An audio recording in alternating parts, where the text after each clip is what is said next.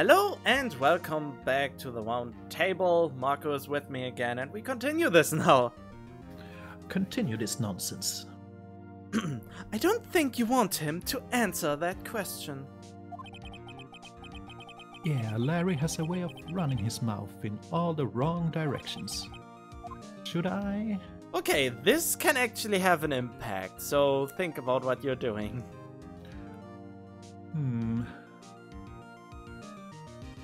Well, I suppose it's completely unrelated to the case, but at the same time, I'm wondering if it would actually reveal anything about the case. Well, then, there you go. Make your decision. Uh. Gee, I'll. I'll put my faith in you, Mr. Butz, this time. Might be better not to get involved in this one. Well, Mr. Butz? Dude, no way! That's cheating she-dog! I'm gonna die! I'm just gonna drop dead! Yeah, and when I met her in the afterlife, I'm going to get to the bottom of this. Let's continue with the trial, shall we?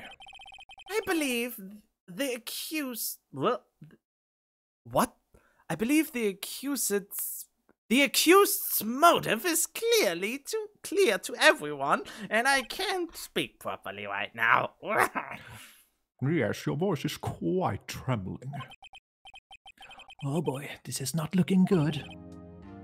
Next question. You went to the victim's apartment on the day of the murder, did you not? Uh, well, did you or did you not? Heh, well, maybe I did, and maybe I didn't. Uh oh, he went. What do I do? Uh, honestly, I know. I'll send him a signal. Tell the truth. uh, yeah, yeah, I was there. I went. Order. Well, Mr. Butz, Dude, chill. She wasn't home, man. So, like, I didn't see her. oh dear. Your Honor, the defendant is lying, and this is the reason why I gave him this voice. L- lying. The prosecution would like to call a witness who can prove Mr. Butz is lying. Well, that simplifies matters. Who is your witness? The man who found the victim's body. Just before making the gruesome discovery. He saw the defendant fleeing the scene of the crime.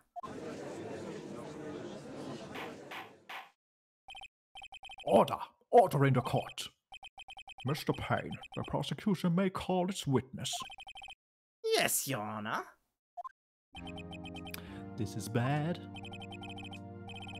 On the day of the murder, my witness was selling newspapers at the victim's building. Please bring bring Mr. Frank saw, Sahwit to the stand. Very subtle. Mm-hmm. I actually never got that in the German version of the game that it was such a name. Mr. Sahwit, you sell newspaper subscriptions. Is this correct? Um, wait, wh- what voice did I give him? Fuck! You're giving a pretty regular voice.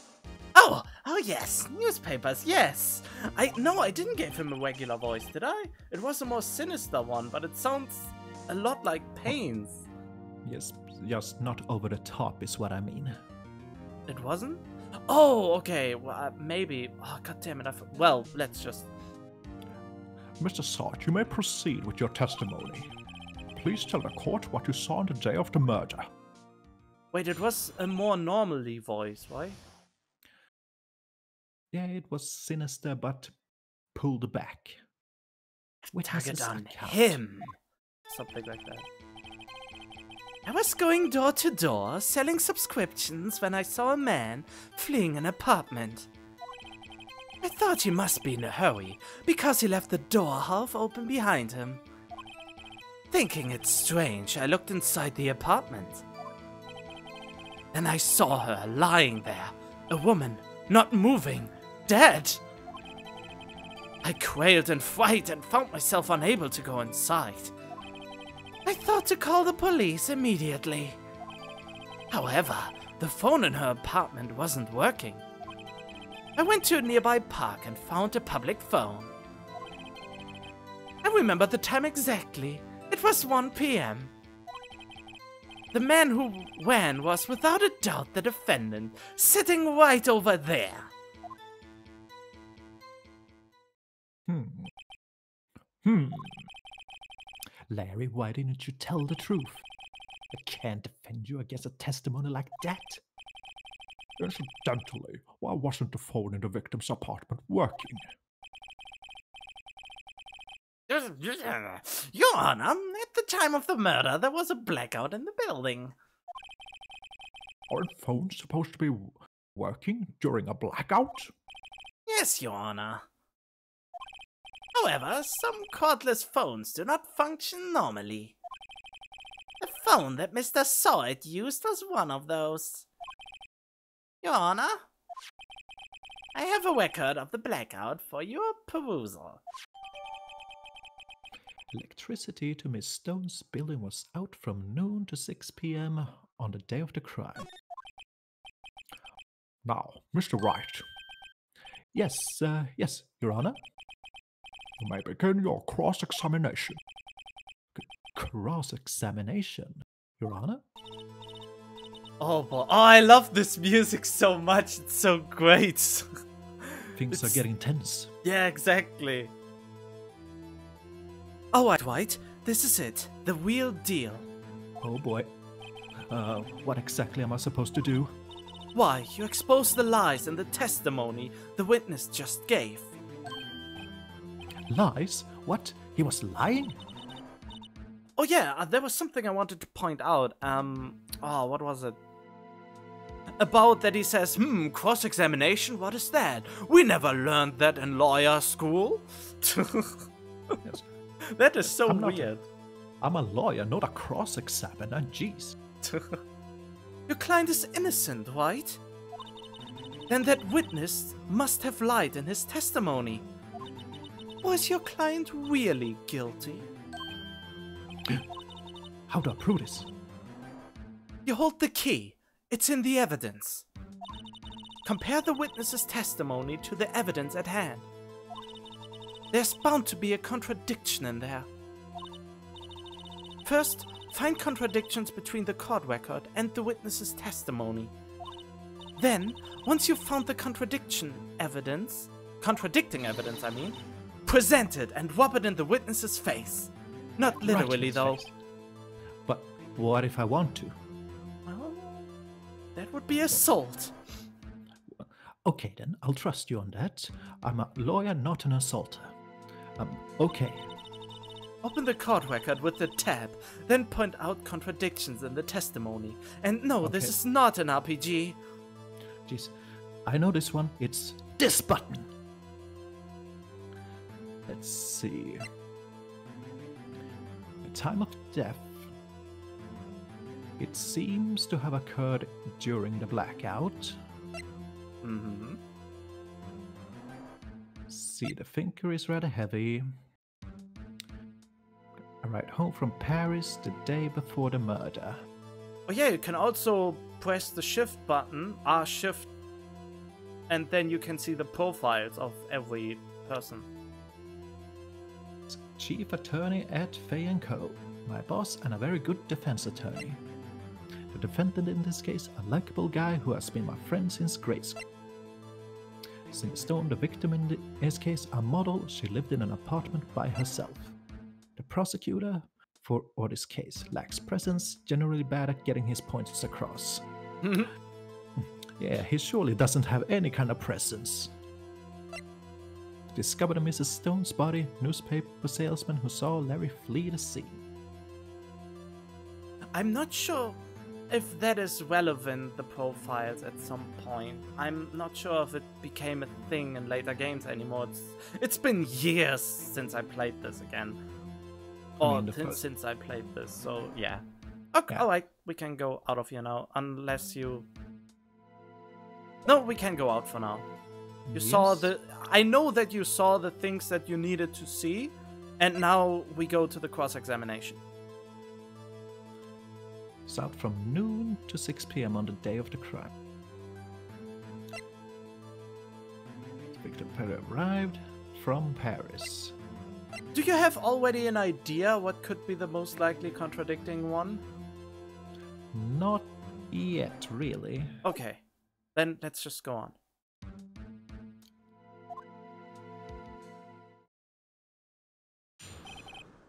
Cross examination. I was going door to door selling subscriptions when I saw a man fleeing an apartment. Hmm. I thought he must be in a hurry because he left the door half open behind him. Thinking it strange, I looked inside the apartment. And I saw her lying there, a woman not moving, dead! I quailed in fright and felt myself unable to go inside. I thought to call the police immediately.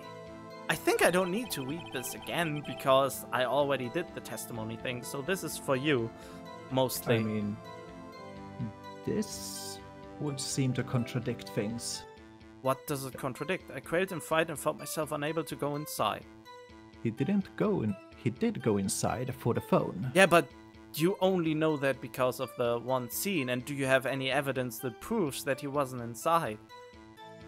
Uh, let's see. Yeah. I mean, you can press. Exactly. No, wait. So, you didn't touch. Oh, that's you. Sorry. So, stealing my thunder, man. you didn't touch anything in the apartment? Um, yes. I mean, no, nothing. Okay, what happened next? Okay, this is, yeah, thought to call the police immediately. The phone in her apartment wasn't working. Okay. So, can I do it now then? The phone in her apartment wasn't working. Yes, I mean, no, no, it wasn't. Right. But you said you didn't go into the apartment, or did you? Oh, oh, that? I can explain that. Uh, that's not the right voice. there was a cordless phone on a shelf in the entranceway. I reached inside and tried using that to call. Oh, I changed his voice so much. And that phone wasn't working, correct? What happened next? Nearby park and found a public phone. I remember the time exactly. It was 1 p.m. See, and 1 p.m. Would that be the contradiction? I Let's have to figure that out. Where is it? What does it contradict? Start from. Well, the blackout, but that was only in her building, I guess. Yeah, that's But- noon to 6 p.m. And he said he heard he, and he said 1 p.m. is when the murder happened. Hmm. Manuel was without a doubt the defendant, sitting right over there.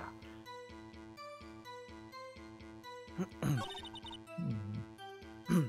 That's all of it. There must be a contradiction in there somewhere. Examine the court record with Tab if something strikes you as being suspicious. Ah,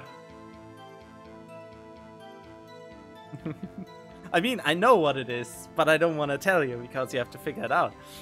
yes, I'm focused on the time of death and the blackout. That seems the more obvious, but unless I'm missing something about the cause.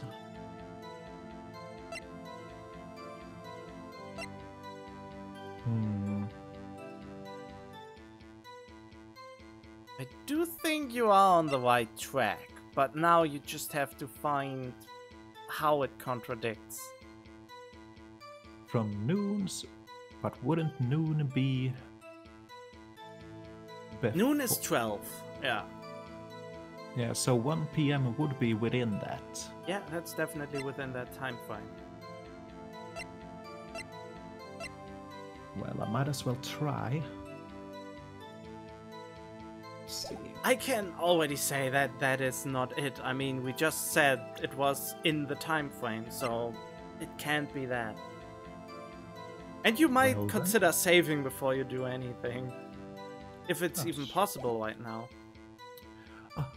Maybe should do this on the next episode, or has that much time gone? Yeah, well, first you have to find the contradiction. Hmm. I want you to find the contradiction first. So, certainly.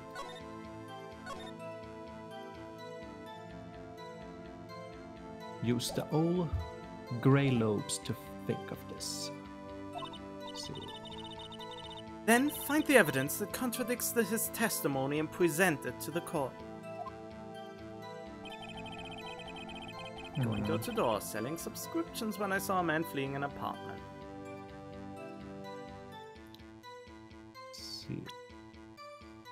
So time of death was around that time, and he went. No, wait. So she died at around that time. Mhm. So, yet he was at the phone by 1 p.m. before she died.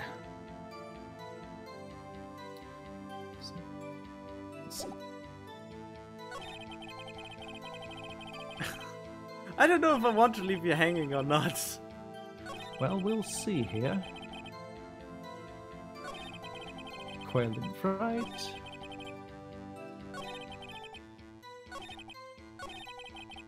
Oh, this is fun Um, to see someone figure this out. Uh, here and present. Found about at 1 p.m. You're sure? Yes, it was 1 p.m. for certain. Frankly, I find that hard to believe. Your statement directly contradicts the autopsy report. The autopsy notes the time of death at some time after 4 p.m. There was nobody to, uh, no body to find at 1 p.m. How do you explain this three hour gap? Oh, that? Uh, uh. This is trivial. The witness merely forgot the time. After this testimony, I find that hard to believe. Mr. Sahwit, why were you so certain that you found the body at 1 p.m.? I, uh, well, gee, that's a really good question.